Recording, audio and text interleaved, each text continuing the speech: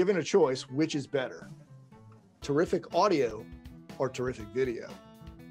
Now, in a perfect world, they're both fantastic, but given the choice, you always want your audio to be as good as possible, even at the expense of your video. The reason is simple. Audience members will check out if there's a lot of static, if there's, if there's noise, it's not clear, not easy to hear. They'll be more forgiving with poor video quality. Why is this tip important? In today's Zoom or whatever platform you're using, our virtual world, you probably have several microphones tied into your computer or your webcam. I know on Zoom, every time I click on, I can go and there's at least three microphones at my disposal.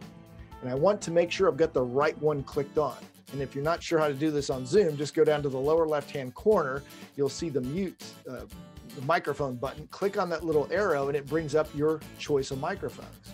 So right now I've got my USB, my uh, Rode lavalier that's hooked to my jacket.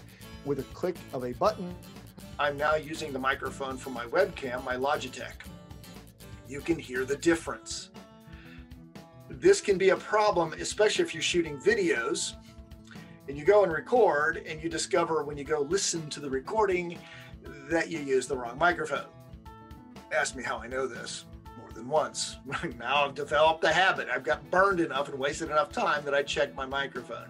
I also have a an overhead that's plugged in, an Audio Technica boom mic. Little bit, I mean, it's better than the, the webcam, not quite as good as the lavalier, but you've got different uses for the microphones. And I just wanted you to hear what different sound checks sound like. You want to do this before you go live to make sure you've got the right microphone on for that particular recording or live event.